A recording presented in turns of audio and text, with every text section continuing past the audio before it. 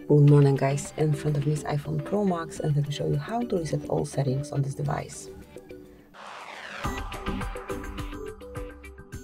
So at first open the settings, then go to general, scroll a bit lower and click on transfer or reset iPhone. Now mark reset and here tap on reset all settings. Now you have to provide your passcode and if you truly want to reset all settings, click on reset all settings.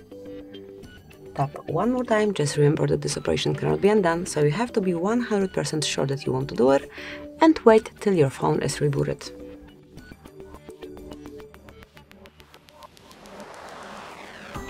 And that's it, now you can unlock your device and smoothly use it. Thank you for watching, please subscribe our channel and leave the thumbs up.